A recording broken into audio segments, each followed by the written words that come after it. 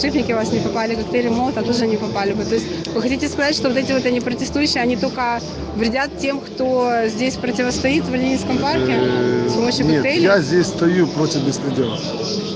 Против беспредела.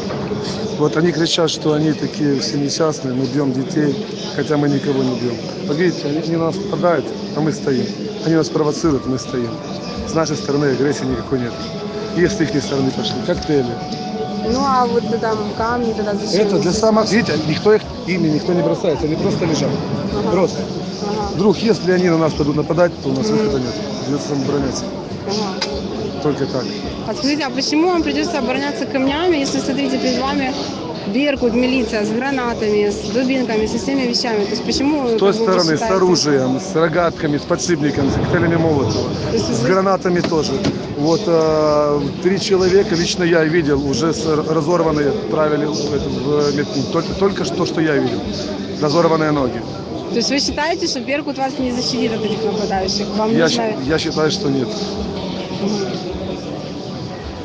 Это нереально. Силы не, не, не равны. То есть вот этих вот э, нападающих настолько много, что они могут снять вот этот Беркут. Ну, не сомнут, но прорвутся, я думаю. И тогда нужно вот это вот вести вот эти вот камни для того, чтобы защищаться, если они Свою жизнь, правильно? конкретно свою жизнь. Ну хорошо, что вас защищает, вот заставляет быть здесь сейчас? Здесь, боже мой, есть масса без- более безопасных мест на планете. Я здесь нахожусь, еще раз повторяю, из-за беспредела.